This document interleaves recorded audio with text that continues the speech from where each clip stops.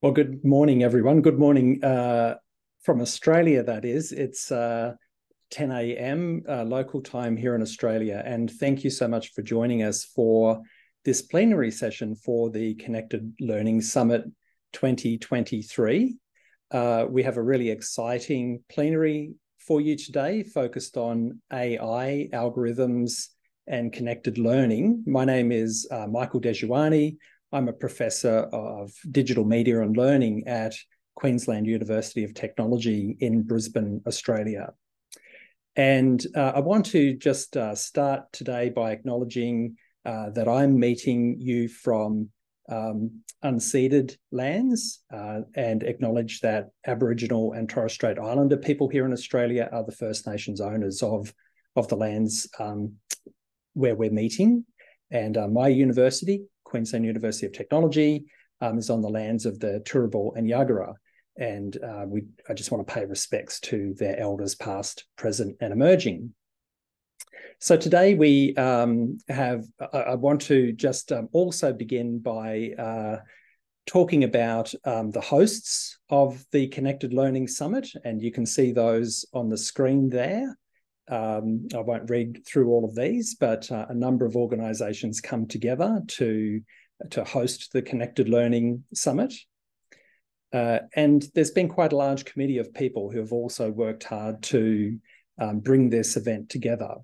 Uh, and so I just want to also um, acknowledge all of the people on the screen there as, as the organisers, and recognising too that uh, this is an event that happens across a few different time zones. And so different groups of people have been working together to pull together different parts of the program. Uh, and I would like to very much acknowledge um, the, the staff who've been working a, away in the background to also um, take care of all of the logistical aspects of, of bringing this event together. And again, you can see their names on the screen. Um, we're working on the, the Whova platform. And uh, so if you need any assistance with the Whova platform, uh, you can click on the community um, tab on the left-hand side there, and then you'll um, see that you can ask organizers anything. So if you uh, need to ask someone a question, please just go ahead and uh, go through that process and you should receive some assistance quite quickly. Um, and the hashtag, of course, for the event, uh, hashtag CL Summit 2023. So our um, our opening plenary today, uh, uh AI and algorithms for connected learning, is is featuring Louisa Bartolo, Karley Beckman, and Maarten de Laat, um, and I'm moderating. And um, so we're going to hear first of all from each of our three presenters, and then uh, we'll move into some some questions from me as moderator, and then for the last 15 minutes or so, we'll open up to broader Q&A. So please um, be ready with your questions for that part of the session. Uh, so I'll just uh, introduce, I'll just go through some bios for each of our speakers first, and then I'll hand over, first of all, to, to Karley to, um, to talk for five minutes. But Karley Beckman is a senior lecturer in digital technologies for learning in the School of Education at the University of Wollongong. Karley's research investigates children, young people, and adult learners' technology practice through a sociological framing uh, to critically engage with issues of digital inequality, digital literacy, um, and toward the development of a theoretically informed understanding of the place of technology in our lives.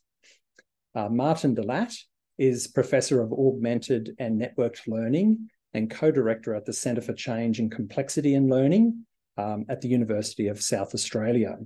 His research focuses on augmented learning and value creation in social networks.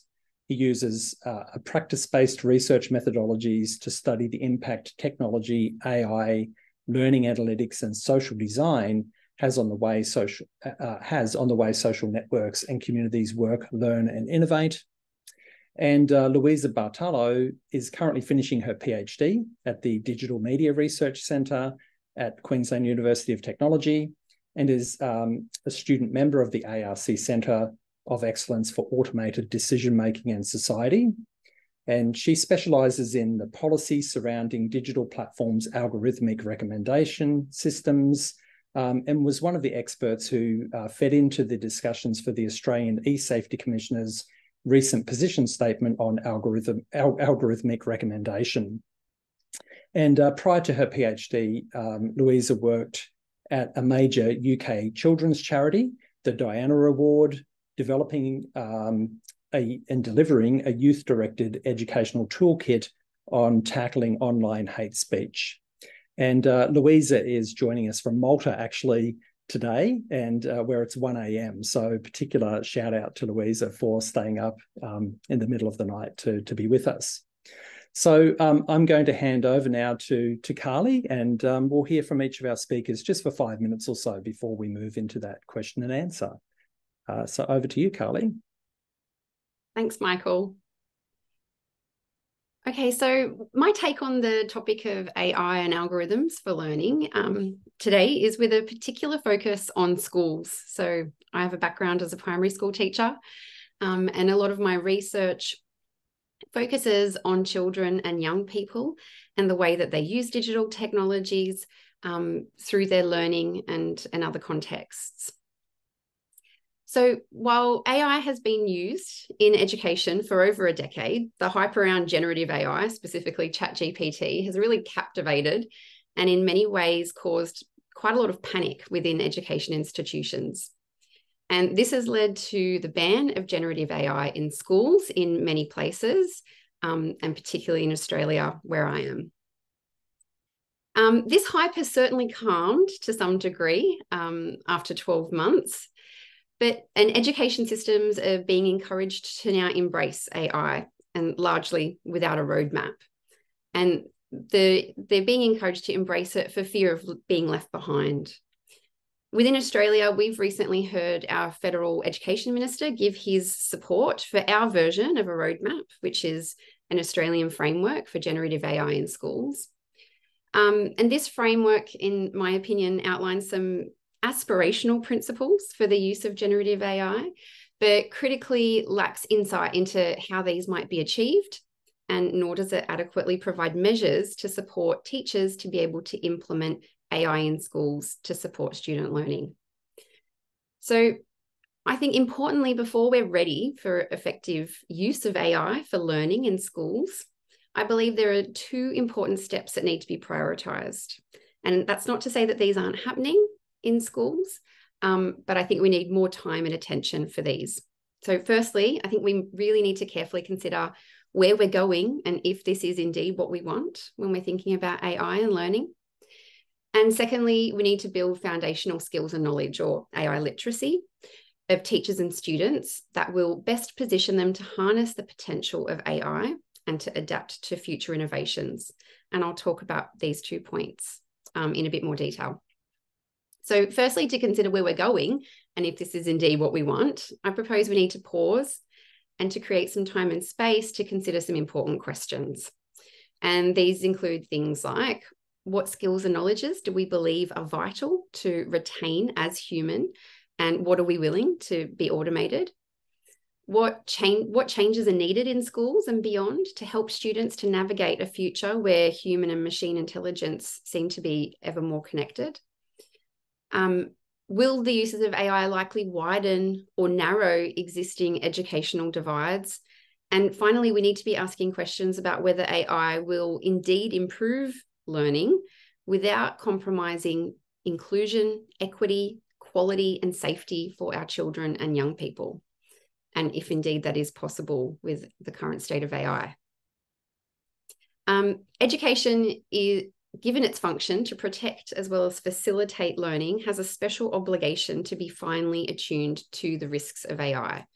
Um, and that includes the risks that we know and those that are perhaps coming into view. But I think too often we do ignore these risks. Already the uses of within, sorry, already the uses of AI in schools um, are wide ranging. As I said, they've been used in schools for quite some time. And this is even though we haven't really adequately considered the risks or impacts on learning. So, things that are being currently used include things like student oriented systems, um, such as adaptive or personalized learning, um, writing supports that use AI tools, And then there are also a number of sort of teacher oriented AI systems currently being used. So, adaptive assessment systems that respond to individual learning, diagnostic tools, and increasingly analysis tools that generate insights um, and analyze trends across school sectors and student achievement. And these have been used for some time. And I think the potential problem associated with the intersect of these tools and student learning is that the AI is essentially a black box um, if teachers and schools are even aware of its presence within these tools. So, what we're seeing is um, limited teacher understanding of the way that the AI is informing these decisions or creating the decisions. And there's a lack of agency or control over the decision making on behalf of schools and teachers. Now, education is a huge market for ed tech products, and they sell all sorts of solutions to schools. And as platforms and products are marketed to schools, claims about the effectiveness of particular AI products are, have been largely accepted without scrutiny. And these technologies need to be carefully researched, monitored, and guided to maximize educational benefit and minimize risks. So, how do we support education departments, schools, and teachers to make informed decisions about AI um, within schools? And how do we support teachers to teach with and about AI in the classroom? It's more complex than just an online self paced course on generative AI or um, just giving time to experiment with using AI. But we need a focused attention to give schools and teachers the time and resources to develop the skills and knowledge. Now, I've heard people claim that perhaps teachers aren't well positioned to teach about the complexity of AI systems but teachers' expertise lies in their capability to explain complex or abstract ideas to students. It is by definition their job. So, with adequate training and support, schools and educators are well placed to rise to this challenge. I think that there's a bit of a risk to repeat our errors of the past. So, as technologies have become intuitive to use, um, we risk assuming that students are knowledgeable um, with how to use them, and we fail to adequately support the development of their digital literacy. And this is being demonstrated in the research. We've seen persistent patterns of students' digital literacy levels showing little or much slower growth um, in comparison to significant growth in use and access to technologies. And this intuitive design that we see through automated decision making and AI removes the need to understand the system to be able to use it. And this places us in a potentially poten- a problematic position where um, we're more likely to use it in AI in inefficient or ineffective ways, or to be harmed through our use um, and potentially perpetuate or amplify digital inequalities. So it's crucial that the first steps within education settings is to build a strong foundation of knowledge of AI systems and algorithms. And it's not just through use, but through understanding that we are better positioned to harness the potential of AI to push back on um, practices that we define as perhaps undesirable or not needed, and to be able to better adapt to the speed of the development of AI in the near future. Wonderful. Thanks. Thanks so much, Karley. And uh, so now I'll hand over to Maarten. Yeah, thank you, Michael, and thank you, Karley, as well, for your brilliant overview. I think it resonates a lot with what, what I was going to say. So I'll probably start echoing some of the thoughts here, but I think that only points out sort of the state of where we are. So uh, my name is Maarten Laat. Indeed, I'm, I'm uh, the co-director of the Center for Change and Complexity in Learning in Southwest Australia, as uh, Mike already mentioned. And my personal research is interest is within network learning and, and understanding how uh, people connect and create and build knowledge together. And of course, now with the upcoming AI tools and applications in education, this now also extends to understanding human and non-human intelligence within connected learning. And I think it's a whole research roadmap ahead of us to really try and understand how that is uh, taking place, what, what kind of impact that may have on, on the learning experience, learning outcome, as well as on, on social learning designs and the way we are creative and solve complex problems. And in the context of, or in the background of this, this context, leading now the development of a cooperative research bid uh, in Australia. And the reason for that is that uh, Karley was already saying is like since November last year, with the introduction of, of ChatGPT, basically there has been a serious hype and discussion across the media, but also within education about, oh, what does AI mean? What, what do we do with AI? Well, how will it impact our education and how will it change our education systems? And the interesting thing is, is that before, so to speak, uh, the end of last year, we were trying to set up projects in schools around the, the uptake of AI. And we needed to do a lot of explanation, sort of like why AI, what is AI, is it really important, why is it coming? And all of a sudden, sort of like at the beginning of, of, of the new year, so to speak, there has been a tremendous interest and I think that's that's very positive. I mean, the interest has, of course, been both positive and negative. There's a lot of fear and excitement at the same time about AI, and that's, of course, uh, very re- reasonable and, and natural to expect. But it, it sort of brings out that conversation about okay, what is actually happening to education, and and how is it fundamentally changing with the introduction of AI into classrooms and into these education systems. So, in order to start tackling this this big questions of national interest, so to speak, we, we are therefore leading the development of this cooperative center, which we call AI for Life. And the idea behind it is, is to focus on a center that will help empower citizens for a life with AI. And it's about uh, uh, adopting and developing uh, AI tools and solutions for training and education.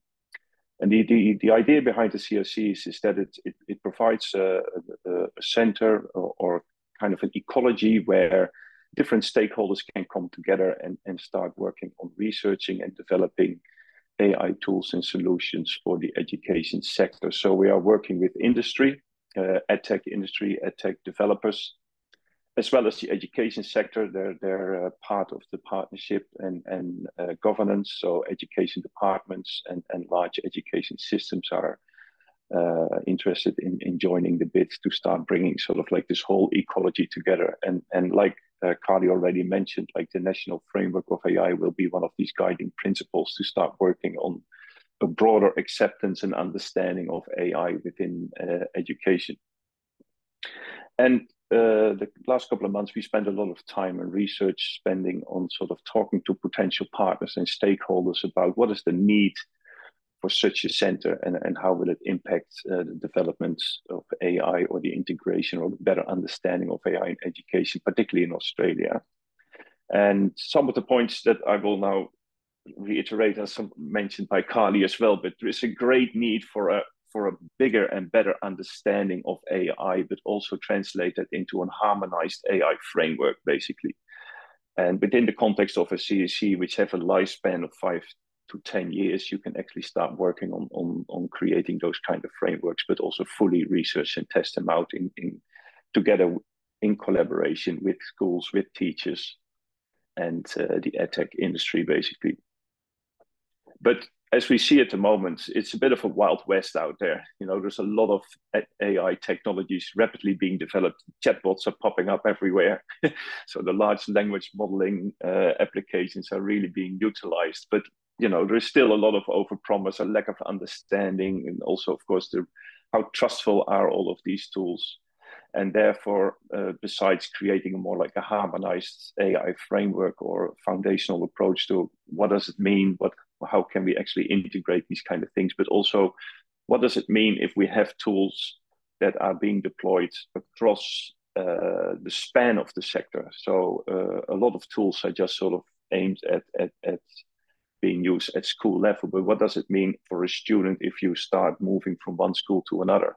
You know, uh, how, how do these systems and the data that's being collected basically uh, traverse along with you and, and starts to support learning across the lifespan, basically. So the integration of AI is not just focused on, on a particular school or subject matter, or you know, at a micro level, we need to start thinking about what is the infrastructure in which AI is operating, and how does it traverse across these uh, levels, and uh, how does it impact learning and teaching across time. Uh, so I think there's a lot of work still that needs to happen. And there's a lot of work around sort of the integration and, if you like, uh, the collaboration of several AI tools to start working together in that bigger ecology.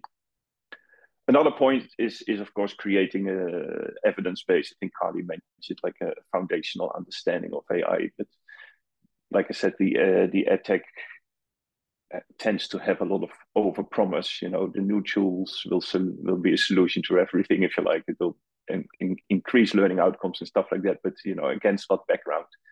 and how inclusive, if you like, are those tools, uh, and, and and what is the bias, if you like, within those tools? If you start talking about algorithms and algorithm development, so there is a lot of research uh, in general, and also very detailed and in, in in sort of specific areas that is required to start understanding the the real potential impact of AI tools and services within education, and that comes, of course, then also with bigger transparency and openness about sort of the ways these tools work and operate and how decisions are being made.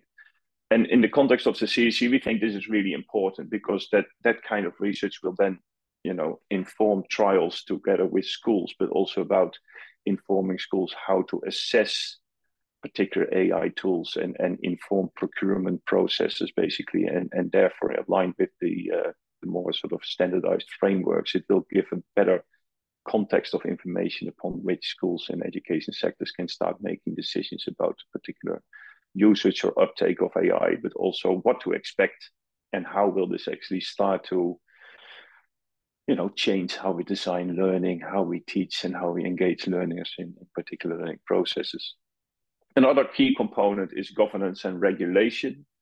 So uh, again sort of what what kind of um, uh, boundaries do we need to put around uh, all of this AI? South Australia was, uh, I think, the only state in Australia to, from the beginning since this year, to adopt AI and integrate AI in education. They did not put a ban on it. I think the other states are now sort of turning around and sort of seeing, yeah, we need to embrace this new development. And the question is, of course, how. And and in terms of upskilling, uh, it's it's it's important, of course, to provide training and, and professional development of teachers, but also to to school leaders and and and uh, you know policymakers and and and a whole range of I, I, I would say jobs and, and roles within education needs to start to engage with understanding the potential impact of AI uh, in education and finally, I think an, another important point is, is that part of the CRC is to bring that conversation together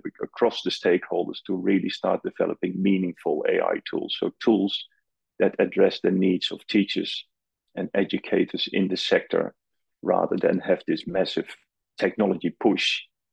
Uh, we like to open up that dialogue and start creating, you know, building and researching particular tools together in order to start having a powerful response to uh, the uptake of AI in education. There are a few other points I'd like to mention, but I'm not quite sure if there's time for that. But I think we should also not only just focus on, on of course, the, the, the impact on, on education in terms of how we teach and learn, but these tools will also impact how we conduct educational research. You know, what, what is the potential for AI tools to, to facilitate, if you like, data analysis, auto coding of, of, of data and, and, and, and, you know, practices like that. So I think there's a lot of talk and, and research that is needed in order to see how AI might be able to assist or improve our research methodology and even find, fundamentally change how we conduct our research. And a similar impact it will have on, on uh, the theories of learning that we, uh, that we apply as a as a theoretical framework to understand you know and and research uh, learning processes uh, and I think the adoption of AI will start to create a rich dialogue in, in the de- further development of those theories, or at least you know they they will put a, a strong reflection on on that notion. Yeah. So maybe we can explore that a little bit more during the the panel as well. But I'm, yeah, just want to yeah.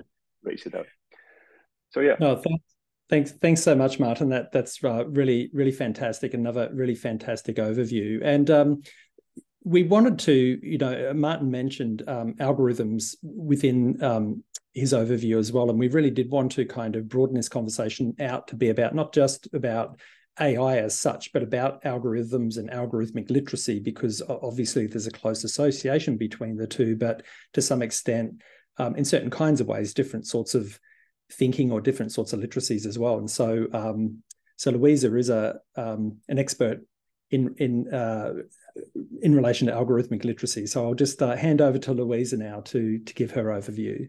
Thank you so much. Um, so yes, I'm I'm at the tail end of my PhD, uh, submitting next week, and what I wanted to speak about today was sort of what led me to the PhD that I was doing, uh, which is I I studied kind of how platforms curate content through algorithmic recommendation. And this is important because platforms like the likes of Facebook or Twitter or YouTube, etc., have historically presented themselves as a kind of neutral hosts of information or content. Um, and for reasons I'll explain further later, I think that's a relevant point to bear in mind when we talk about generative AI, etc. But they're constantly ordering information and curating content in very like political and consequential ways. So, for instance, for Google search, um, it was only during my PhD that I, you know, discovered they have as quality uh, search evaluation guidelines, 175 pages long, uh, where they explain how they determine quality in the ranking of search results, um, and and like quite quite political, uh, contestable decisions of how they make those those sorts of judgment calls. And it was striking to me that, you know, I had done two degrees before my PhD and I never thought about the way that Google really orders content, aside from a very basic kind of uh, uh, understanding that it's supposed to be something to do with quality. But I mean, quality is a very open-ended, contested, you know, term. And so I think in part for me, one of the really valuable parts of education is that I think this is like the stuff education is made for, teaching you to think critically about the consequences of these like ordering systems that look very, they sort of fade into the background, you know, you don't, you don't really think about them. You just get a list and you sort of, and we know from research that people go to the first uh, page of Google search results. They don't question, they don't, you know, they don't critique their, their short on time. And I think in this context of information overload, which is only going to get worse with generative AI, this ordering function is is critical. So I, I think that's I, I, guess the first thing that I wanted to raise. And just to give a few examples from my research, um, I did some work with my colleagues at QUT Digital Media Research Center, looking at YouTube's algorithmic recommender systems. And when COVID broke out, YouTube uh, made a commitment, claimed to make uh, to be committing to raising authoritative sources in its search and recommendation results. And then the question is, what is an authoritative source, right? Because it also included news media organizations which were sharing misinformative claims. But the, the sort of quick uh, way to operationalize authoritativeness in a computer science like sense at scale was to say news media, mainstream news media. Um, when we looked at feminism as a search term, YouTube did didn't have any policies around it. So we got all sorts of problematic anti-feminist content being raised to the very top. So there are kind of like decisions made about where we curate more heavily and intervene uh, for so-called quality purposes and where we don't.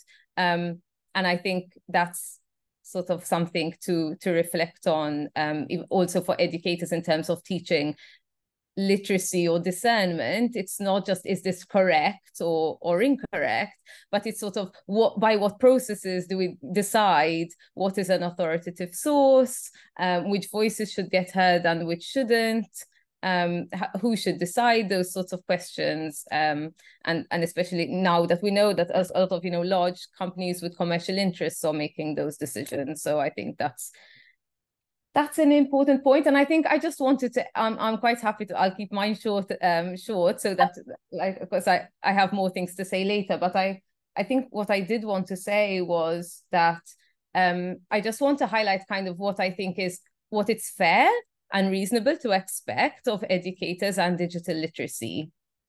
There's a lot i think here that depends on really good policy to make these systems safe before we talk about digital literacy, etc. So I think when if you're talking about a real like deterioration of the information environment, which I think is a very real risk with generative AI, etc. We're talking about a flood of information with no sense of what is accurate or not, deep fakes, which we don't even have the right tools sometimes to to identify them let alone as an individual looking at them this and that i think it's we need to be honest and fair to educators that a lot has to happen sort of before things are unleashed um you know and, there's, there's only so much that digital literacy and, and critical thinking can do in this kind of environment so, yeah. Great, great. Thank you so much, Louisa. Now, um, so I'm just going to turn now to um, asking some questions of our panelists, um, but uh, shortly we'll turn over also to um, to Q and A from from the rest of of the audience. So please uh, think about questions that you might have and and get them ready to ask. And uh, we can use the chat, but also uh, if you, uh, yeah, if you, uh, we'll probably try to ask you to um, come onto camera and ask those questions as well, um, unless you specifically request to keep those in the chat and then I can read them out for you. Um, so, look, the first um, question I wanted to ask, and I did have a question about hype, but I think we've, to some extent, I think we've addressed that question about hype. You know, there, there, you know, for the past twelve months, there obviously has been an incredible amount of of hype and an incredible amount of focus on um, generative AI. Um, and I think um, you know Karley and Maarten to an extent really have already kind of covered off on that. And I, I think you know we we we are beyond hype in in the sense that I think that we we do know that there are going to be very real consequences, um, and that you know generative AI will have really quite significant um, impacts on what happens in schools um, into the future. And so this isn't just another hype cycle, to put it that way. You know, this this is something that's going to to stay with us and that we will be dealing with now into the future. But um, so I wanted to go this to this question of um, you know, if you could choose just one thing or one idea that all children should learn about AI and or algorithms, what would that one thing be? And I think I, I want to ask this question because I think often, um, you know, when we start to kind of deal with the, the, you know, the whole plethora, the whole monolithic thing that is technology in the first place, but then coming down to something like generative AI or AI more broadly can get very, you know, overwhelming. So, you know, what would be your advice for one thing that we really should be um, asking, what we should really be focusing on for all children to learn about? And um, Karley, I might come to you first. Thanks, Michael. I think this is quite a tricky question that you've posed here. Just one thing. So to be cheeky and and sort of say something. My one thing will be quite general that might capture a lot of different things. Um, I think if if there was one thing that I think children should learn about AI and algorithms, I think is the importance of demystifying what AI is. So I think there's a tendency for sometimes for AI to seem like magic. Um, and in fact, we've seen tools like Canva actually call the embedded AI magic, the magic tool, um, which doesn't help the case. Um, so I think through sort of having at least a basic understanding of how it functions, how algorithms function, as Louisa said, can really help to sort of demystify what it is to um, sort of pull the curtains back um, and to see, to realize that our current forms of AI require human intelligence to create them and to dictate what the bounds are and how they function. And I think through understanding that, we can start to see um, the potential risks, but also to learn how we can harness it. Um, and I think that as with that knowledge also, and this is maybe a bit too complex for children, but working towards it is that the, the current state of AI that we're working with is someone's imagined future for us. So it hasn't happened by chance. And we have this talk about AI being inevitable, but it is a small or a small group of people's imagined future for us. And if we realize that that is being created by humans, then perhaps we can start to imagine an alternate and more preferred future with AI where it's not just a few that maybe benefit, but maybe more of us can benefit from it. Right. Yeah, I think I think that's really important. I think that you know, in a sense, that's kind of taking that broader sort of media literacy or critical literacy kind of perspective to stand back and say, well, what is this thing anyway? And you know, it is a construction. It is it, it is made by humans, and humans get to determine, you know, um, what will happen with this thing into the future. And we're allowed to question this and, and not just accept that it's inevitable that this will go a certain way. Uh, Maarten, uh, what what would be your one thing? Yeah, I agree with everything that has been said so far, of course, but uh, I would like to perhaps try and take it a little bit further into the future because um, the current understanding is, of course, also based on the current hype. And uh, when we did a, a small study, it, it, was very clear that kids' understanding and kids' trust of AI is just driven by the big tech companies. So if it's from Google or Apple, then we trust it. if we may not know the source or if it's a little more dubious or whatever, they might start you know asking a bit more critical questions around it. But uh, i think louisa louisa also mentioned it is we, we we're almost at a state that we don't know anymore what's real and what's not real. So i agree with all the the the, the notions of course of, of, of the, the, ability to critically assess ai but I, I would like to go one step further if we can and we will get there at some point. And it, it's it's what i think would be crucial is that children learn how they can create or develop AI to solve their own complex problems. So that that AI becomes a tool in your toolbox, if you like, that you can use for your learning, for your creativity, but in a way that you control how that's being done. And I think that's that's a different perspective because a lot of AI at the moment, it's we can just play with it, but it's given with its boundaries, you know. So it, it, you can only do with it what you can to some extent. But I'd like I'd like to overcome that, and that, you can start to develop and create your own AI to help solve you with your your quest in life, so to speak. Hmm.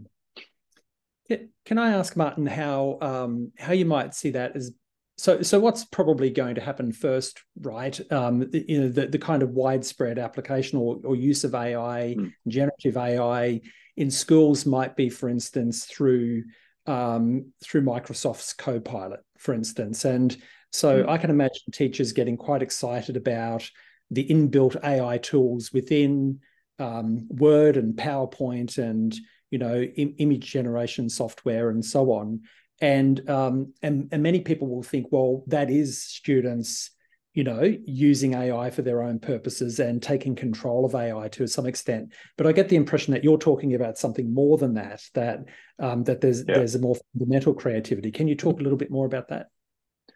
Yeah, well, uh, at the moment, uh, I'm, I'm running a project together with Intel and MeldCX. It's called the AI Playground.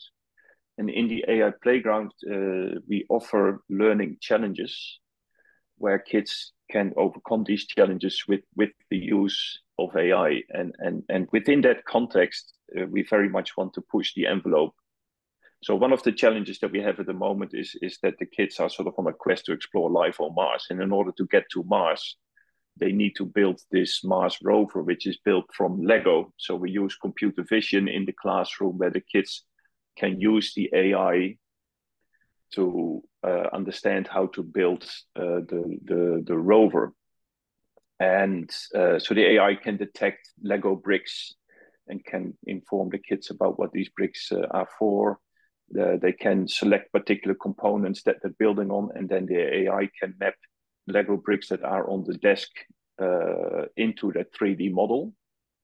So you can start to identify okay if i'm building this model where are these uh, building blocks or these bricks positioned? And so in order to collaborate with the ai they are capable of of solving that problem. But where we want to go to is that kids can then start to design their own version of a mars rover basically and then start to interact with the ai in terms of okay how to build this uh, how can that be done? And therefore, then they're starting to develop AI to learn about different kinds of Mars rovers, basically, and therefore the AI capability through the, the training and the development of data that the kids provide, the AI capability becomes a lot broader and stronger, basically. Now, those are still sort of, you know, very uh, in, in sort of testing space. But I think these are kind of ideas of bringing AI experiences into the classroom where the conversation is more about how does AI work? How can we train and further develop AI in order to, to solve problems that we are confronted with rather than utilizing the AI tools to, uh, in some way, just be corrected, if you know what I mean, huh? the, the spelling checkers uh, of the world today, basically. Yeah, great. Thank you. Um, so so we'll go to you, Louisa, about your your one thing, uh, and then looking at the time, I think we might almost be needing to move to to general Q and A. So, um, Louisa, um, yeah, yeah, I'm building off of the, the two, but I'll, I'll I have sort of two small, very connected points though. Um, one is that I think this point of sort of playing with the systems. I think even myself as a as a researcher, I'm a humanities researcher.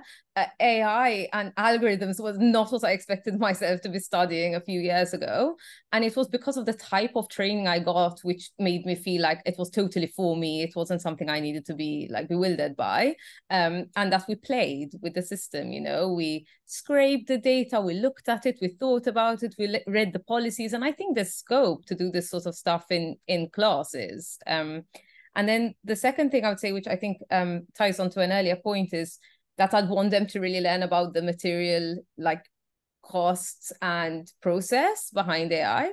So I think partly like who are the people behind on whose data is it being trained? Are they being compensated? Are they even being given the option to opt out?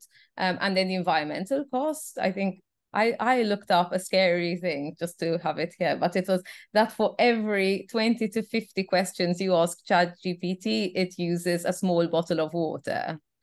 And I mean, like we're living through a crisis, and I think our younger generations are really much better than us at like caring about the environment and thinking about it. And so I think, like as you're saying, AI isn't magic, and it has very real costs. And so I think like having a much uh, education that talks about that is important. Yeah, definitely. And I think that, um, yeah, we absolutely haven't explored enough the kind of critical connection between technology use and the ramping up of, of, of massive amounts of data and how that relates to sustainability and environmental cost for sure.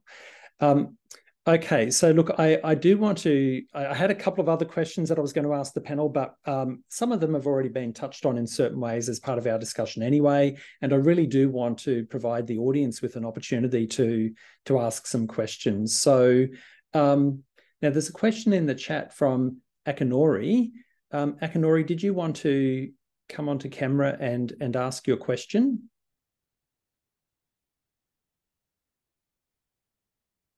And uh, you're muted at the moment. Hello. Good evening. Oh, good morning. I think we are in the same time zone. Uh, yes, this is a, a, little bit maybe off the topic, but uh, I'm uh, interested in AI powered conversation and the AI powered connection uh, connecting the people with the same interest and uh, maybe uh, with the guardrailed conversation among the people, maybe in different location and maybe even in different uh, language. So I, am sure from the conversation we had, it's a little bit off the topic, but uh, if you see any potential of using AI to get people connected and looking for the same, um, say, same goals, and uh, together uh, with the, the empowered discussion, people will tackle with the uh, project-based learning uh, style about the topics. Then that can be also tied to the uh, curriculum, maybe loosely coupled with uh, um, the the current the standard curriculum because now now the you, you have this rigid curriculum then you it may not be allowing people to go a little bit outside of the curriculum. So this is uh, my question. I, I, I hope this is still relevant to uh, the audience and the you. So so Karley, um, I'm going to turn to you for, for to answer this question. Just in terms of, I think uh, I think this is in some respects a broader question about you know the use of of how we use technologies in the classroom to to do collaborative learning and to bring people together and to to solve problems together sometimes at a distance. And i guess we saw a lot of this during covid for instance when everyone had to learn online um, and so on. Do you have any um, thoughts um, in response to that question? Mm, so I, am going to respond, but uh, please correct me if I've misinterpreted the question because I wasn't 100% sure. Um, so I do think that there is a lot of potential to further explore the ways that we can use technology to collaborate outside of our immediate networks. Um, Akinori mentioned something about a, sort of quite a, a controlled curriculum. Um, but I do know in the Australian context, our curriculum does facilitate such connections. And there's an increasingly um, global focus um, with general capabilities about connecting with our, our Asian neighbours um, and making those meaningful connections and collaborations through learning. Um, so I do think that there is definitely potential to to further explore those options and, and how AI might be able to assist um, through making those connections meaningful. Mm. Yeah, Maarten. Yeah, maybe did... just to. Yeah, sorry, yeah. I was just trying to chip in. Uh, an, an, example of, of, of, of this, it, it's a bit more in a higher education context, but a, a colleague of ours in our research center, he is developing together with a PhD student, uh, studies around the use of virtual reality and uh, in, in the context of language learning and language training.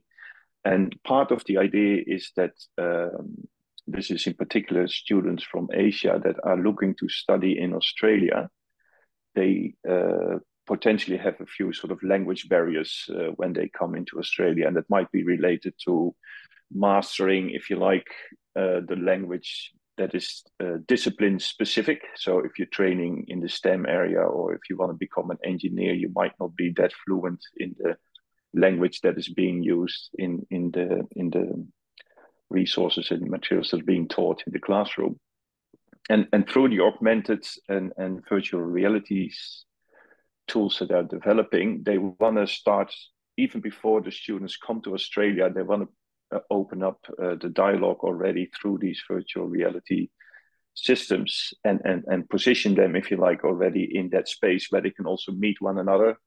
And, and so it's, it's, it's also about social and connected learning. And through that, they, they come on Australia already with a stronger sort of set of social relationships. So that's one thing, but they also have been more exposed with the language that is being used in the educational and discipline uh, context.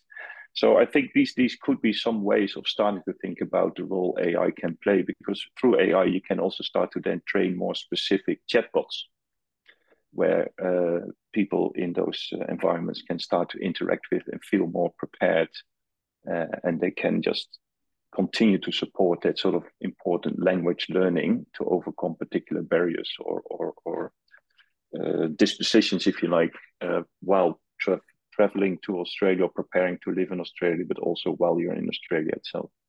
Mm. Yeah, thank you. And and Louisa, um, you know, some of your work is absolutely focused on kind of how algorithms reinforce polarization, right? And and kind of um, um, and hate speech and so on. Um, I mean, not necessarily related to AI, but but just in relation to algorithms more generally. Have you seen, I guess, good examples of where um, there may be instances on on social media platforms where um, where polarization is being challenged or or, or nuanced?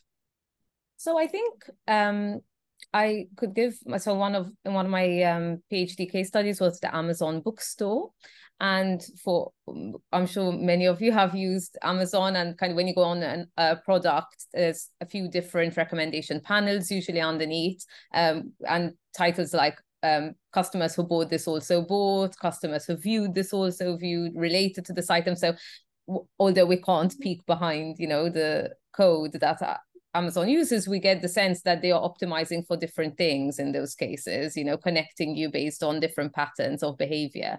And what emerged from that was that the sort of the content you saw um, changed quite a lot depending on whether they were basing the association between people on similar purchasing patterns or based on the item itself. So I guess that's just to say that I think like at least in our commercial digital platform environment, algorithms that their main aim is that they connect people either to other people or to content. Um, sometimes other people are the content on some of the platforms. So it's um and and I think there's good and bad ways of how that can be done. But I guess what I want what I would want to say is that it's quite difficult to get it right. So like there's a lot of criticism and I think it's justified and I'm not sort of going to but but I think when you sit down and think how would we want these systems to connect people it raises actually a whole set of like quite challenging um value questions like why you want why would you think these people are associated? Is it just because of their behavior? Should you try to expose people to different types of people than they would otherwise be exposed to etc but the second quick thing i wanted to say on language is just that there's some really interesting research by the center for democracy and technology on the way that large language models currently are really failing like a lot of languages globally. Um, and uh, so i you know i come from malta and maltese is a low resource language for example because it's not used a lot and there's not a lot of of data online. So the extent to which they can power these systems with those languages is limited. Um, and so I, I think like we also need to be really careful of which gaps, you know, we're we're just reinforcing through these these systems. And that's yeah. Great. Thanks so much, Louisa. Um, so we don't have any more questions in the chat at the moment, but please um, please kind of raise your hand if you if you would like to to ask a question or uh, or just let us know in the chat that you would like to ask a question. Otherwise i will i will just go on to my next question. But um, is there anyone who would um, would like to ask another question? Not at the moment? Okay.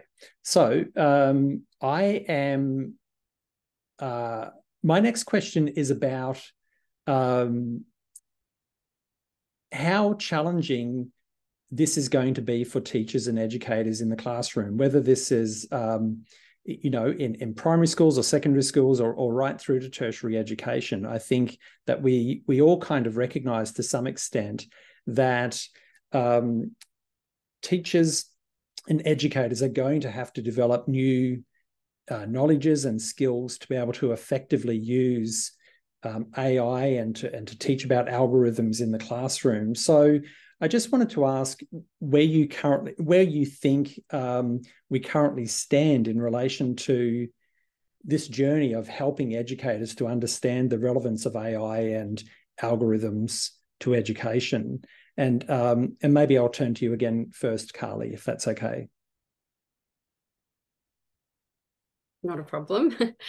um, so I before I answer that question, I think it's really important to echo the point that Louisa made um, earlier in our session about the importance of regulation right. um, as a, a, precursor to thinking about how we use AI in schools. And I think I completely agree. It is so important.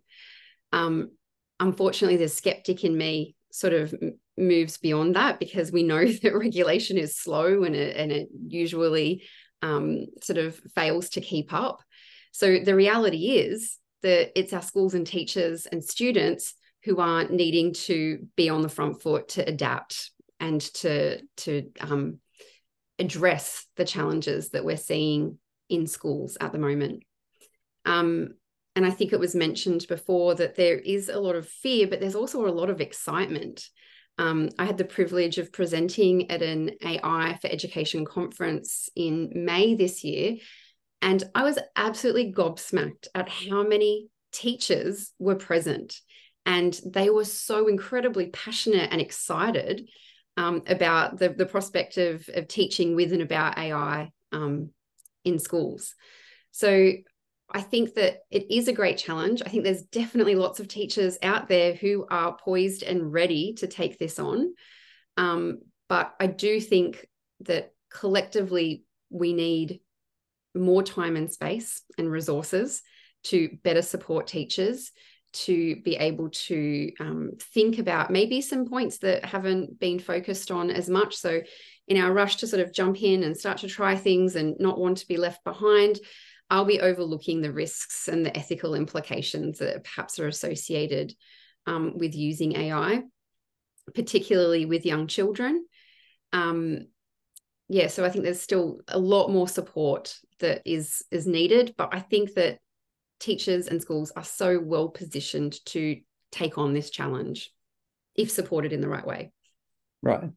I just want, I, I mean, I want to riff off off that a little bit and maybe come to you, Maarten, um, and and Karley. You know, feel free to jump back in as well, of course. But um, so, in relation to regulation, where do you think that regulation needs to come from? Then, so um, one of the challenges, of course, for for regulation is that we're talking about uh, you know international companies that cross cross national boundaries and regulation at a governmental level um, is usually nationally based and you know so that may what, what ends up happening it seems to me is that it's it's regulation that is either originating in the United States or maybe perhaps in the European Union that has the most impact because um, those are very big markets for uh, technology companies and they have to pay attention once once the US and, and, and Europe kind of gets involved in relation to regulation.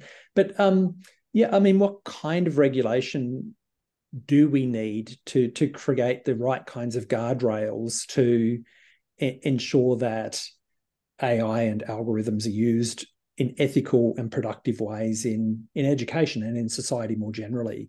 Maarten, um, you mentioned regulation earlier. Can you can you? Yeah, I did. It's it's it's a challenging area, and I think Karley already mentioned it. It, it, it the, the, field is also so rapidly developing, so it's hard to keep pace with what's possible. So what AI can't do now, it might be able to do in a few weeks or months, or you know. So it's it's hard to predict, and and so some kind of regulation is is really important, and and and within the context of the Australian governance, that there their big push is towards the, the development of secure, responsible, and trusted AI. So I think those are a few hand handrails that we can start thinking about. Um, I, I, guess the difficulty with it is is that with with this sort of distributed system in which we are all living and operating, it, it, it it's you almost need like a, a, global regulative agreement on certain things because if it, oh. if the regulation is, is based in the in Europe you know uh, what's to say what's happening in, in countries beyond uh, perhaps maybe in Russia or in China or in um, in Latin America. So it, it's really hard to understand sort of uh, what the regulations and regulatory needs are. I think it's interesting that that the industry, the tech industry themselves, are arguing and asking for regulation and for the need of regulation. I think in in a free market that is rather unseen, perhaps to some extent, but it's quite interesting. And, and I think that might be driven by a bit of fear that that maybe the AI the developing might become so strong that uh, it, it sort of is, is a little bit out of their own hands, so to speak. So maybe the regulation is there to keep a bit of a safety rail right. around all those things. But when when we talk about regulation, I think for educational purposes, I think that thinking about the kind of regulation really needs to come from education. So bringing voices together, like I was saying in, in the CRC AI for Life, for example, if we can start having meaningful conversations about what is the kind of AI that we want and need in our education systems, and, yeah. and, and how is that supposed to perform, from there you can start building meaningful regulation around all of this. Yeah, Right. Thank you. jump back in because I think Maarten mentioned a really important point earlier as well about procurement processes within an education department. As a right. way to try and regulate what's coming in. And I think the problem with procurement processes within education departments at the moment is they often um, involve the, the technology company to self assess to some degree and to have quite a bit of an influence over what's happening there. Um, so there needs to be some added supports for education departments to be able to um, engage in rigorous procurement processes, which I, I don't think that there is enough support in that space at the moment. Yeah, yeah, for sure. Um, now, look, we're nearly at, um, at, time. I think we've got about one minute left. And uh, forgive me, Mimi, but I'm going to just read this question out um, and just get a quick response from our guests. So Mimi Ito is asking um, if any of you have seen uh, policies at the school, district, or government level that are focused on equity issues specifically, um, because she fears that this we may end up with a, a rich gets richer kind of phenomenon. Um, so that you know advantaged schools will continue to be advantaged, for instance, and advantaged students will continue to be advantaged. So um, I haven't seen any specific kind of local policies like that. Have any of you seen things at that kind of level?